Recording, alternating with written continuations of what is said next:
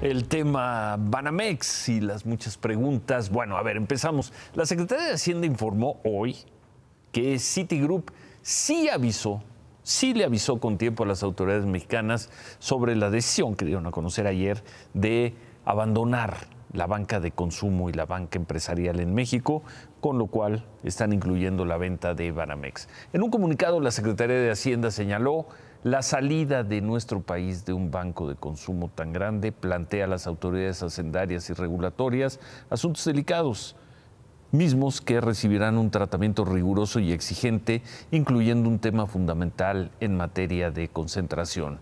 Lo trataremos con estricto rigor y rectitud, cuidando en todo momento los intereses de México. Eso dice la Secretaría de Hacienda.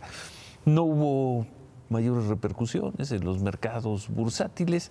Hubo opiniones de agencias especializadas, por ejemplo, la calificadora Moody's consideró que la salida de Citi es negativa para los efectos crediticios de Citibanamex porque va a reducir las operaciones y la diversificación de utilidades del banco. No dijeron mucho más que eso.